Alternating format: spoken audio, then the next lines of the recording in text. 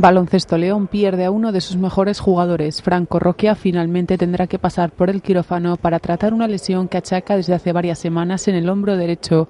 Una ausencia que tendrá que asumir todo el equipo al completo, pero que no supone el derrumbe de los cimientos del equipo leonés. El grupo ha sido capaz de ganar dos partidos sin él y el grupo está por encima de, de cualquiera. Entonces hay que pensar en positivo y hay que intentar que se note lo menos posible. Se va a notar, pero intentar que entre todos sacar esto adelante.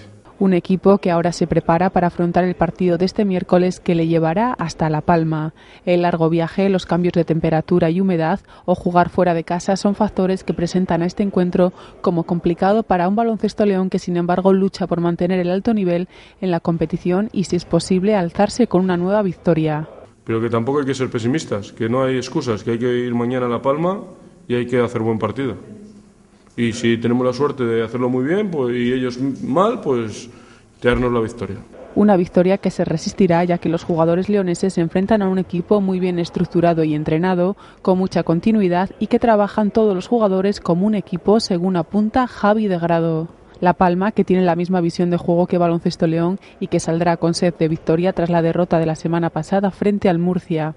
Si somos periodistas o si hago de periodista, el equipo revelación podría ser La Palma o nosotros.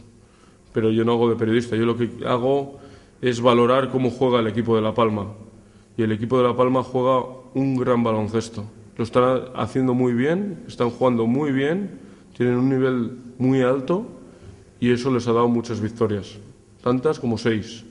Este miércoles a las 10 hora peninsular, los jugadores de Tegrado les toca no relajarse ni un momento y ser muy inteligentes para alzarse con la que podría ser la octava victoria de la temporada.